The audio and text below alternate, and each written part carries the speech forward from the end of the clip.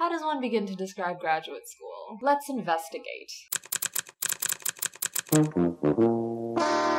That's it, folks. 7 out of 10 internet experts agree grad school is a difficult and unpleasant waste of time. Two of them were probably lying, and I think the last one was just lost. Really, though, for all the supposed career gains to be made from finishing over 15 years of school and then being like, yeah, I think I'll do more of that, going to grad school is low key known as a kind of masochistic thing to do. You spend two to eight years making poverty wages to get a degree that, depending on your field, may or may not actually lead to a job after graduation. Exploitation and discrimination are wildly common and often damn near impossible to do anything about. Mental health conditions are abysmal with absurd rates of depression, anxiety, and things that I can't say on this website without getting demonetized. I think a lot of people who look into going to grad school have at least some vague awareness of all this unpleasantness, and I think they're able to functionally cancel out that fear with an often unspoken belief.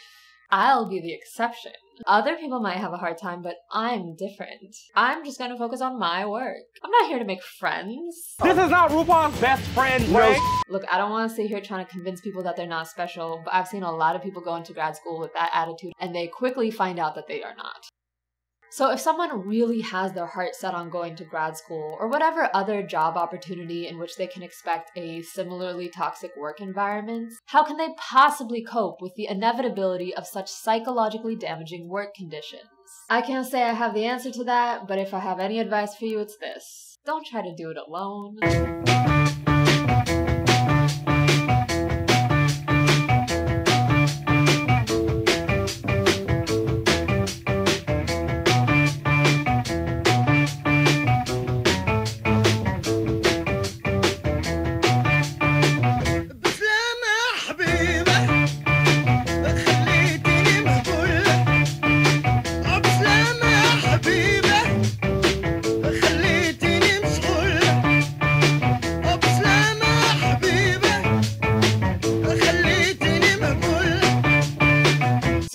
My aesthetic choices, this video isn't just about unions. At time of recording, the historic UC academic workers strike is ongoing, and I'm very excited about it, and I will be talking about it later. But in general, this video is about surviving.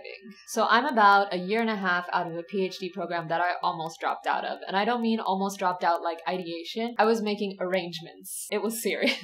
and I don't want to get into the specifics of why I had a bad time or why anybody else has a bad time. That's not what this video is about. The answers to that question are complex, numerous, and deeply systemic, and kind of what the rest of my videos are about. But something I want to be absolutely clear about is that if you're a grad student and you're having a hard time, it's probably not your fault. The reason half of grad students are anxious or depressed is not, in fact, a matter of widespread personal failure, but because this is kind of the state of things, for the time being, that is. I want to give people who are in that situation some practical advice. And this advice is not on how to write the best papers or how to make the most grant money or otherwise life hack your way to success. It's about learning to rely on other people. Other people, as far as I'm concerned, is the only way to survive the absolute gauntlet that is moving through modern academia while at what is arguably the bottom of its hierarchy. My advice is based on a combination of my personal experiences, research I've conducted on the topic, and other sources I've found, scholarly or otherwise. And for what it's worth, I do think that a lot of this will apply to other toxic work environments that aren't academia. You might have to adapt things a little for your circumstances, but hopefully you can still find something useful here. I'm going to start with kind of a general theoretical framework for thinking about interdependence as a replacement for the independence that so many of us have learned to valorize, let's say. But unlike my usual content, ugh, I hate that. I want this video to be light on the critique and heavy on the what do, so I'm gonna spend most of it going through specific, concrete examples of what it is that I mean when I say the solution is other people. And I'll conclude with one example that is extra special and very topical and kind of personal and it's very exciting.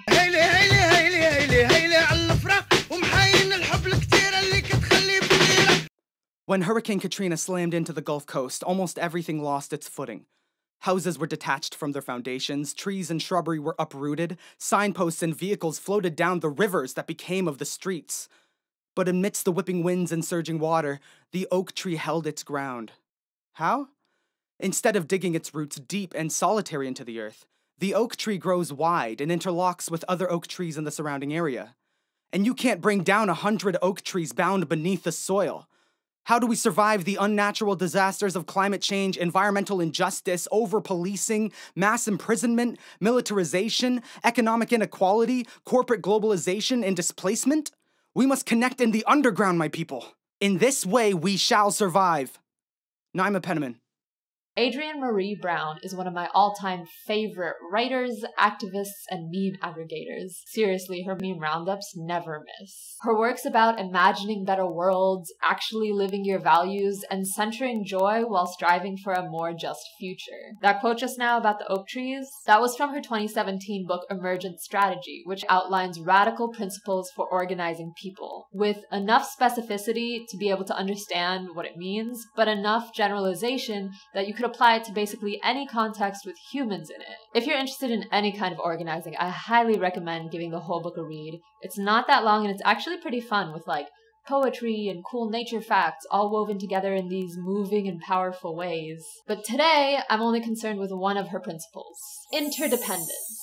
Brown explains the idea of interdependence as mutual reliance, the idea that we can meet each other's needs in a variety of ways, that we can truly lean on others and they can lean on us. She contrasts this with the way that many of us have been socialized towards independence. You know, pull yourself up by your bootstraps. An idea which, as a physicist, I take major problem with. Somebody please draw me the free body diagram that shows how you can pull yourself up by your own bootstraps. Why isn't it possible? It's just not. Why not, you stupid bastard? Because we live in a money driven world where we are not guaranteed our most basic needs, we learn that competition is the way to win at life, to survive.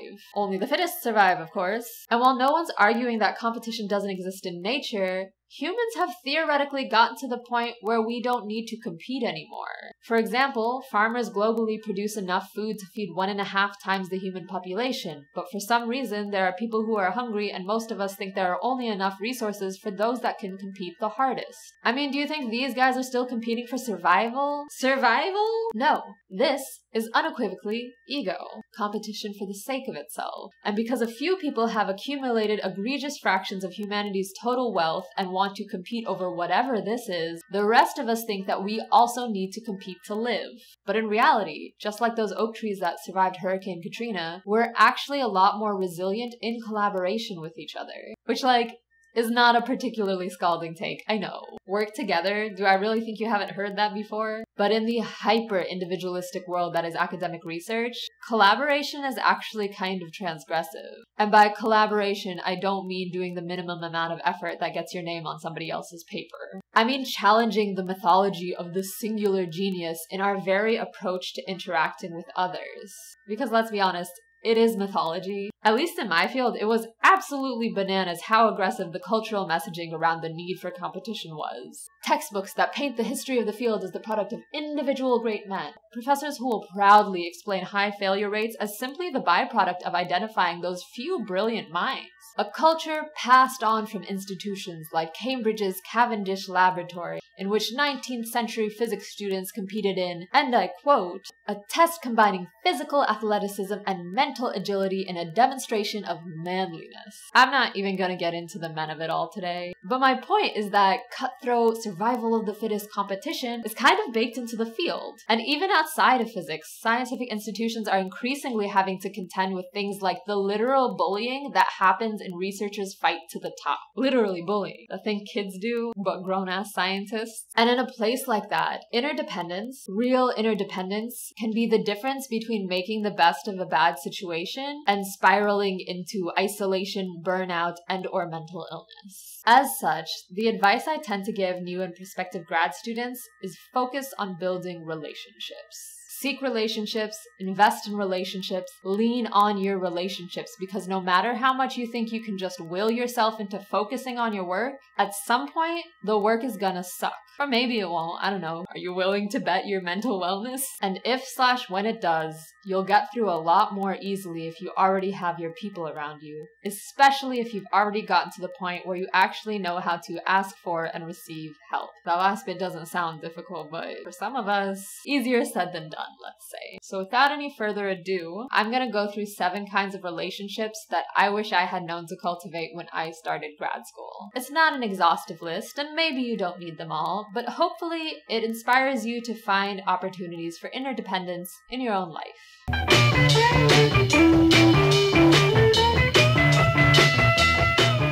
I don't know why I chose the most contentious point on this list to start with. Here's the disclaimer. Despite what women on Twitter say, therapy is not a cure all silver bullet that will solve all of anyone's problems. Therapy can be extremely expensive, and even if you can afford it, a good therapist can be kind of hard to find, especially if you're of a minoritized identity and don't feel like explaining the basic facts of your existence as a preface to literally anything else. There are plenty of issues with therapy and the broader institution of psychiatry, and if you want to learn more about that, check out these videos that I have linked by Fab Socialism and Mia Mulder on those topics. But all that said, there is no way in hell I would have graduated without the help of my therapist. Therapy is by no means a solution to everything, but it's a good place to start. If this whole interdependence thing and having to build community and make friends kind of stresses you out, a therapist can help you learn communication skills, or deal with social anxiety, or perhaps excavate your inability to accept help from people. That one's also me. If you've not yet caught on to the idea that a lot of people would benefit from therapy and it doesn't necessarily mean they're damaged or bad, just think of the sheer utility of having someone whose job it is to listen to you talk about your problems who's not like a friend. You don't have to feel bad that the conversation is totally and selfishly just about you. They're definitely not going to talk about your problems to other people you know. And they even take little notes about the things you say so they can remember what you said before. They're professional listeners for hire, and if that's not a compelling reason to seek one out, I don't know what is. Okay, I'm being kind of hyperbolic. There are actually lots of reasons one might seek therapy, but you get my point, right? So if you're a person with a brain and emotions and think that therapy might be useful to you, the next question is access. Most grad programs will give you health insurance and it may not be the best, but it might include mental health services. It also might be worth checking out your university's general mental health resources. They might have free counselors on campus or something like that. You could also look into pro bono counseling. Just search online or cold call providers and ask if they offer it. It turns out that some do. A word of warning actually getting an appointment with a therapist can be an unnecessarily arduous task and it's easy to get discouraged. It can get even more discouraging when you realize that you might not actually like the first person you see. Commit a few minutes per week to calling people,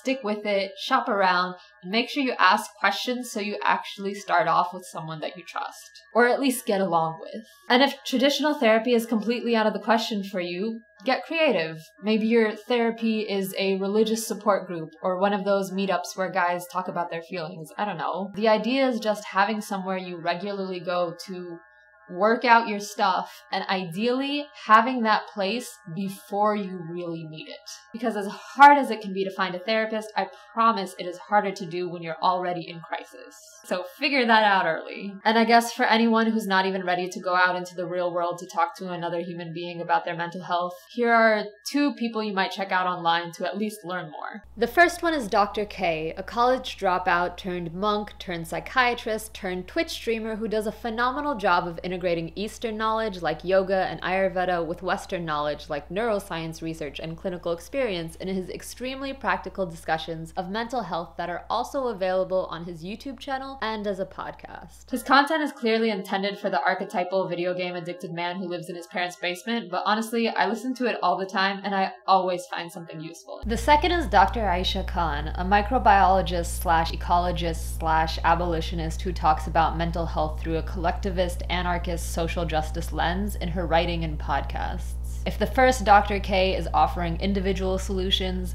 the second Dr. K is offering collective solutions. She recently wrote this great piece on how seasonal affective disorder is just how we pathologize the fact that people get sad when they can't adapt to the changing environment in winter the way almost all life does because of our silly little jobs. They're so silly.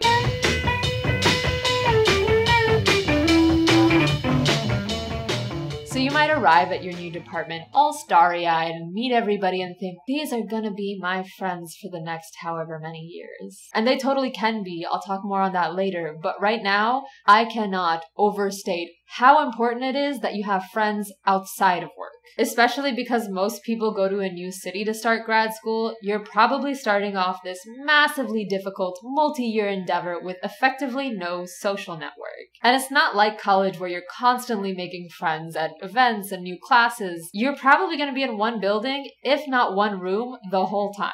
I promise you, you are going to want a place where you can get away from that. Being around people who aren't caught up in their ivory towers or sunk in the depths of their research is going to be a really grounding thing to have if slash when grad school gets bad. And it feels kind of trite to just say, oh, go find a community, but basically it just means join a thing. Trust me, I read lots of WikiHow articles about this.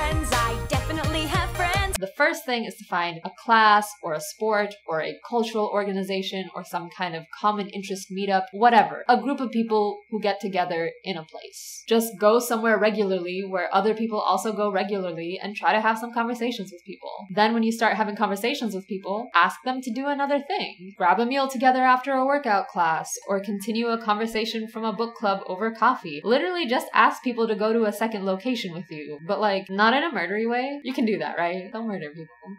And then later, follow up with a text or something. Again, in a non murdery way. I'll be honest, I know how awkward and forced it can feel to try to make friends as an adult. It is notoriously difficult, not just for grad students, but it's also something you get better at with practice, and I also think it's something that people tend to appreciate. People generally like to feel that someone wants to be their friend. You're not creepy for trying to hang out with someone, that's literally just what being friendly is. If you want more awkwardly analytical information on befriending people, check out this Medium post by social psychologist Dr. Devon Price that's written by and aimed at autistic people, but honestly, there are lots of places where non disabled people can learn a lot from disabled people, and I think this is definitely one of them. So, yeah, do something where you regularly come into contact with other people and try to initiate additional interactions with those people. The community will come. Finding a place where you can socialize away from your work is going to be really valuable. Bonus points if the thing you join is active, like a running club or a dance class or a boxing gym or a yoga studio. Taking care of your physical health exercise exercise, along with other things like healthy eating and sleeping, does a lot to support your mental health. And I know a lot of us academics were indoors kids, and gym class might not have been one of our strong suits. Trust me, I was there. But it turns out that when you can pursue whatever interests you, be it rock climbing or capoeira or badminton or roller skating, instead of just the thing they were doing in PE that day you called in sick, movement can actually be a really valuable part of your life. Who knew? Not me and my reading in the library at recess ass.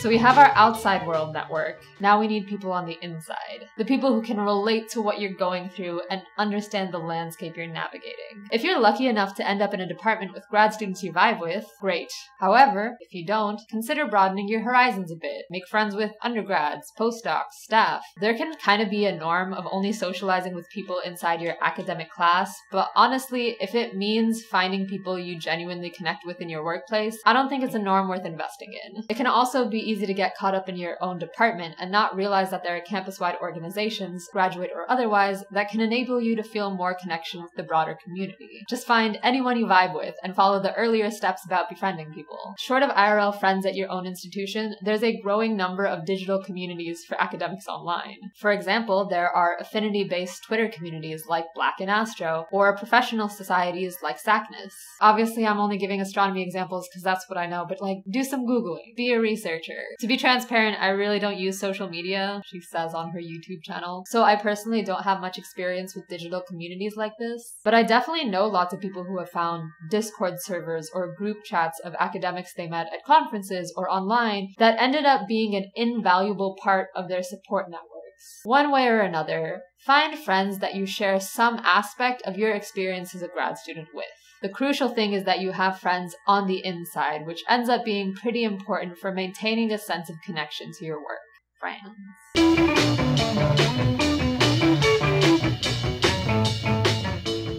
Building off that last point, making friends in your field is a great starting point for finding collaborators. Like I said earlier, we tend to idolize the lone scientist who is the sole author on all his papers. His papers. His. But I think it's usually more productive and more enjoyable to collaborate with people, especially if you actually like them.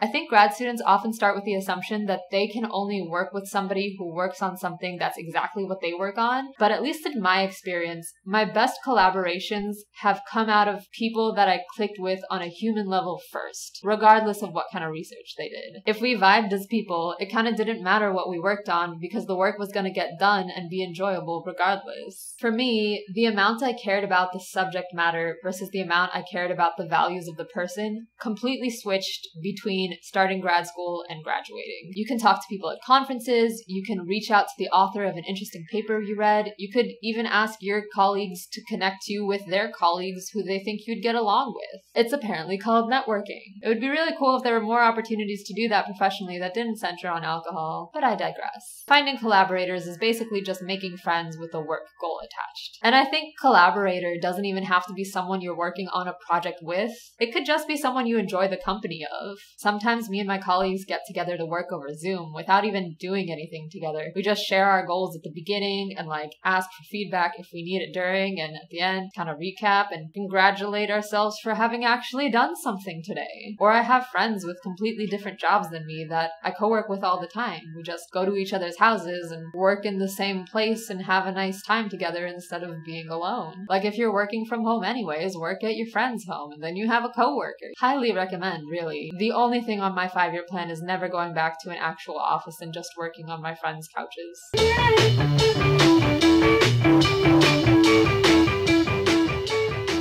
Okay, this is a big one. In general, the way that graduate programs are set up gives professors a kinda unconscionable amount of power over their students. So it makes sense that mental health markers track with whether or not a student feels supported by their PI. For this reason, I'm going to repeat what I said about collaborators. Though it doesn't seem like it when you're getting excited about the subject of your first research project, the relationship you have with your advisor is going to underscore your quality of life for the next one to eight years. Or more. Some people do more. There was a guy in like the 80s who was a grad student at Stanford for like 18 years before showing up to campus with a list of names and a hammer. Can I say that he murdered his advisor? I'm not recommending that. I'm just showing it as an absolutely wild example of the extremes of this system. I know how tempting it can be to set your sights on that one professor who does that one project that you just think is so cool. But consider, what's more important, being treated with a basic level of respect or getting to study black holes? I should have studied planets. All the solar system people I know are so nice nice. I could have been studying Jupiter. Look at it. It's great. But for real, my two cents, prioritize the person who will treat you well. The best way to find out who will treat their students well is to ask other students. Ask them about their professors' communication styles, how they run their groups, what their previous students have gone on to do. Do your research, basically. Now, unfortunately, sometimes you don't find someone who will both treat you well and pay you, in which case you might end up working for somebody who does not treat you well. In that case, you might want to try seeking mentorship elsewhere. By that, I mean that you can nominally be advised by one person in your department, but also seek professional support, advice, guidance from someone else. It can also mean reaching out to your networks, even people at other institutions, to find someone to do research with, maybe even to fund you while you go to your actual advisor just for like advancement paperwork or whatever. And I know that that sounds like an absurd thing to do. The circumstances that would require that are absurd, but sometimes that's the best case scenario. I don't actually think it's a requirement of most grad programs that somebody in their department advise you. Like they can let you in and then just be like, figure it out. It's not our job to help you. What do you think we are, a school? Basically, get mentorship where you can find it. And I want to quickly put a little asterisk on that point. If you are whatever kind of underrepresented person, allyship and mentorship can be kind of complicated, and I think understanding some of that complexity could help navigate it. This idea is really well encapsulated in an essay by theoretical cosmologist and scholar of gender studies Dr. Chanda Prescod Weinstein, who speaks to this complexity in her own experiences with mentorship. I was willing to understand that the world isn't made of binaries. As I moved through the ranks of academia, I've not only had to continue believing this, but I've had to rely on this fact. There are terrible faculty out there, like the white people who treat minoritized students as a professional opportunity. But there are also the faculty who gave me shelter, who wrote me letters, and who made phone calls on my behalf.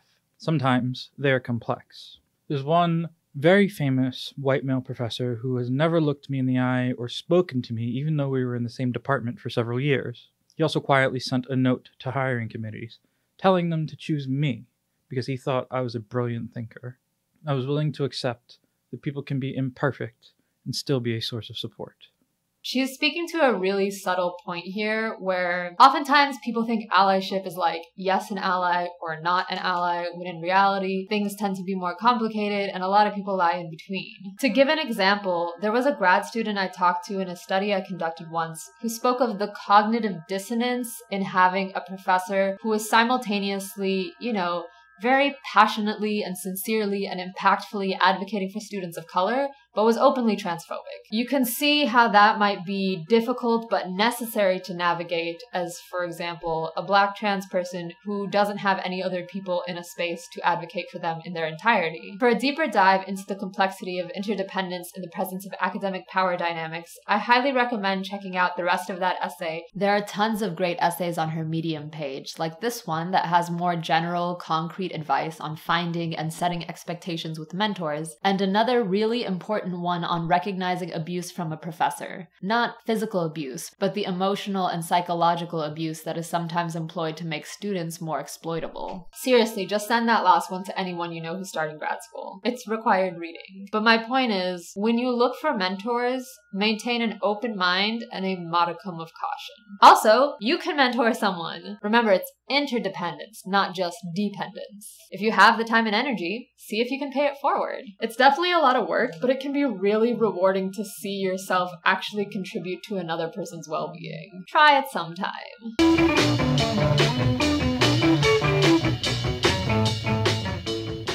It's a bit complicated whether or not graduate student workers are classified as employees. It depends on whether the university is public or private and what state it's in. And I'm also just assuming in American context, academic systems can actually be pretty different across countries, and I can only really speak to what I know. But as universities are becoming increasingly corporatized, the classification legally of graduate student workers is becoming increasingly a matter of labor rights. Like, yes, graduate students are in a sense students, but they're also producing research that makes money for the university. They carry more and more of universities' teaching loads, oftentimes teaching more than even tenured faculty do. And if you think that graduate student instructors are nothing but glorified babysitters killing time until the real professors come through, it actually turns out that undergrads are more likely to major in a subject if the first class they had in it was taught by a graduate student rather than a professor. So grad students do research that make their universities money, teach classes that save universities even more money, and get students invested in their education, in other words, creating more opportunities for universities to make money while only tenuously being protected by federal labor laws. There is simply no getting around exploitation in this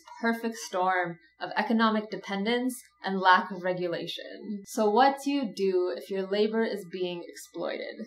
Solidarity forever! Support the UC strike! The answer is us! So I wanted to be cute and like shoot some of this video at the picket line and I tried doing that, but it's just very easy to get caught up in all the emotions of it and I was excited and saying all sorts of inaccurate things, so I wanted to do it right and came back to this little grove of eucalyptus trees on the campus of UC Berkeley. This is where I went to grad school, and I know a lot of reactionaries get triggered by like the radical mythos of Berkeley, but honestly, I don't love this place either, probably for different reasons. They think that Berkeley is all woke SJWs, but I know that they're actually just really good at branding. We are not the same. But this is that most prestigious of institutions from which I narrowly scraped by with my PhD, and one of the last things in my legally unspecific but nonetheless unpleasant half decade here was to sign a union card so that graduate student researchers across the University of California system could join the United Auto Workers Union. And they did. And they started bargaining. And the university obstructed and broke laws. And now 48,000 academic workers across the state are participating in the biggest academic strike in U.S. history. At time of recording, we're three weeks into the strike, and I say we as if I'm technically a part of the strike. I'm not. I graduated. I don't work here anymore, but I've been coming to picket sometimes, and I just feel really invested. Also, it's just been a great time. Like, shout out to the organizers. The vibes have been immaculate. For three weeks now, postdocs, graders, TAs, staff, researchers, and of course, graduate student researchers have been withholding their labor from the university in order to bargain for better working conditions. For context, the University of California's system wide investment assets last year totaled to $168 billion, and that was a $38 billion increase from the year before, meaning from 2020 to 2021, they made their record profits. Do you remember what happened to the rest of us that year? Apropos of nothing, 5% of students in the UC system are homeless. I saw this article that talked about the consequences of the strike that said something like if they actually pay the striking workers fairly, then the university would have less money to conduct their transformative work on economic inequality. Side note, the list of supposed transformative work that would take a hit from fair wages in that article included galactic mysteries, and as someone who got a doctorate in astrophysics from this place, I am at a loss for why galactic mysteries is cited as something that we should care about in this context. For whatever whatever like social or political reputation this institution likes to present, there is just no getting around the fact that as it makes more and more money off the labor of its lowest paid workers, rent prices rise, inflation grows, and the people holding this institution up can't afford to live where they work. So the union is trying to change that. Besides demanding wages that are actually in line with the cost of living, the strike is calling for more robust worker contracts that actually provide job security. For example, to prevent abusive professors from threatening the loss of pay to exploit grads. Some of the other demands include better child care benefits, policies to support disabled workers, improved public transit access, and protections for international students, documented or otherwise. At time of recording, the bargaining team has already secured anti bullying and harassment protections, which is huge. I really just can't express how rampant and normal it is for professors to bully students, and not in like a cute, fun way, but in a really seriously codependent and sometimes downright abusive way. And it's just kind of accepted as how academia works, so there's typically little to no recourse. So I'm just gonna drop this article that describes how to recognize academic abuse again because it's very important. So this has already been a victory in my book. I mean, it's not the revolution, but it's something. At the very least, it's an example of the power of union organizing. And honestly, it's kind of weird to make this video because the strike is ongoing and I don't know if it's going to go on for months or it's going to finish by the time I get this posted or there are going to be huge wins or not so much. But right now, I'm just so excited. Maybe I'm caught up in a moment of that silly human thing where we ascribe more importance to patterns than is perhaps warranted and think there's like grand stories and causality when there isn't. But I'm feeling such like electricity, you know? Not just here. China's been seeing the biggest protests in its history since Tiananmen Square. Women in Iran have started a goddamn revolution. And we've all been watching Twitter and Elon Musk collapse in real time. And so when I walk around this campus and I see people feeding each other and sitting in the grass stretching together and playing music and singing and dancing to entertain each other in the hours of picketing and just the crowds and crowds and crowds that come out in this beautiful expression of solidarity for people's fellow worker. It makes me feel like a lot more is possible than I maybe thought. Maybe this is the moment where all those things I was so mad about when I was still a student here change. I don't know that hopeful is even the right word necessarily to describe what it is that I'm feeling, but it's certainly cathartic.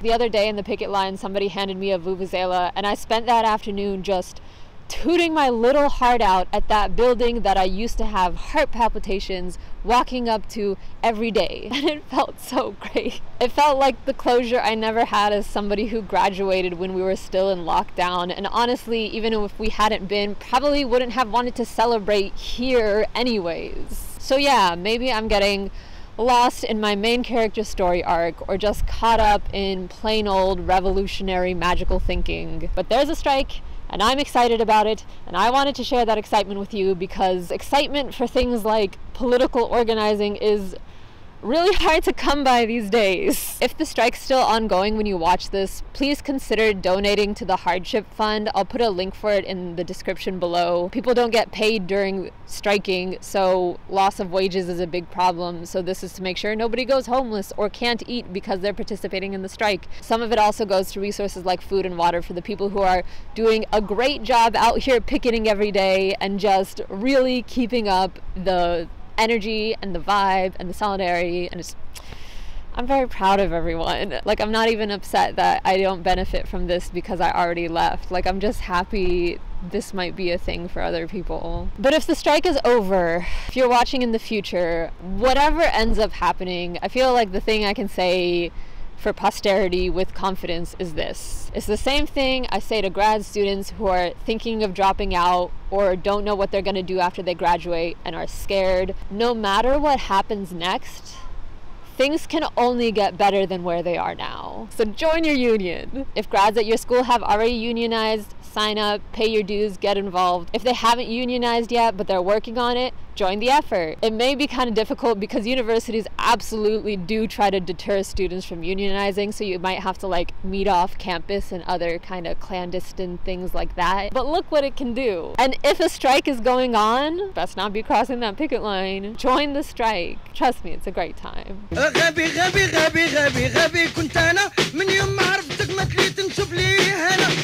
Grad school is hard.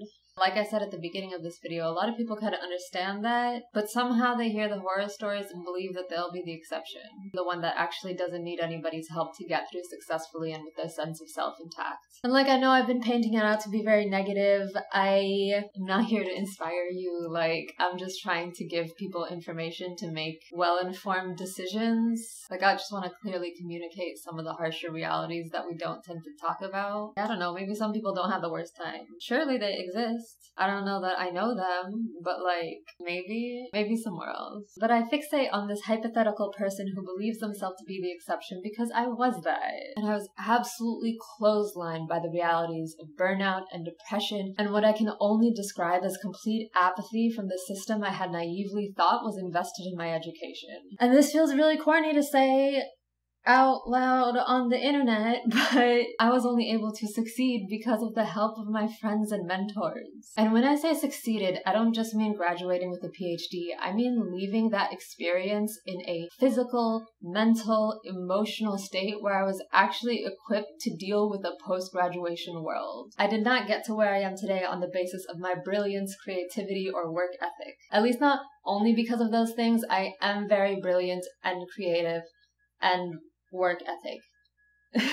I'm not work ethic. It's a different video though. I am where I am because people helped me. And it gives me great satisfaction to know that to some extent there are people that are where they are because I helped them.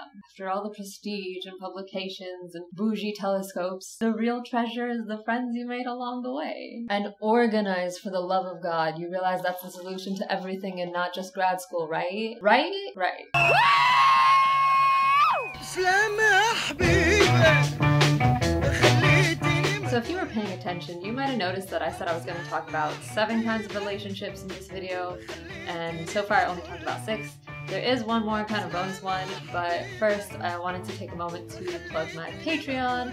So the names that are scrolling by on the screen now are people who have signed up to send a couple dollars my way every month so that I can make stuff like this video and my other videos, which you should check out if you haven't yet, as well as the link to the UC Hardship Fund I talked about earlier. Otherwise, you know, do the algorithm thing, subscribe to the channel, leave a comment, like, share with a friend, appreciate it. The seventh kind of relationship as kind of a postscript, because it's not really a relationship with a person exactly, it is your literal physical environment. A lot of us academics are very transient, right? You go from institution to institution, and I think in those circumstances, it's easy to become very detached from where you live and have it just be kind of the place you're staying while you finish something. But my relationship to the place I live was completely changed when I learned about something called bioregionalism from this book called How to Do Nothing, Resisting the Attention Economy Economy by Bay Area artist Jenny Odell, which I really enjoyed, and it's basically a philosophy that counters alienation from place by trying to tell people to pay attention to where they are. Learning about the plants that are native to your area, being able to identify birds or other animals that live around you, eating locally grown foods are all examples of practicing bioregionalism. Having an awareness of the literal ecosystem that you as a human are a part of. And it sounds corny, this whole video has been really corny, but for me, kind of starting to pay attention to that kind of thing really did just changed like my baseline perception of just like walking around my neighborhood and stuff. Like I had this ritual while I was writing my thesis where every day at exactly five o'clock I would close my laptop and I would like take a little cup of hot water outside and pick some mint leaves or something and have a little tea just sitting in the dirt, not doing anything and not listening to anything and not talking to anyone, just sitting in silence. But I never ended up actually being in silence. You notice things. You notice the birds and how that bird sounds different from this bird. And then you notice the family of squirrels living in a tree. And then you notice that some of your neighbors outside and you can hear them. And it's like, you know, you're not really alone. And on that note, try to meet your neighbors, you know, actually be a part of your neighborhood and your community. At the very least, participate in local elections. It doesn't take that much work to look up a voting guide that aligns with your values and put the minimum amount of effort in every couple of years is to do your civic duty of participating in democracy. Like, say what you will about federal electoral politics, but you absolutely have the ability to change meaningful things on the scale of your city, county, or state. But I'm getting political. I'll stop. I'll bring it back. The point is, relationship number seven of how to survive grad school go touch grass.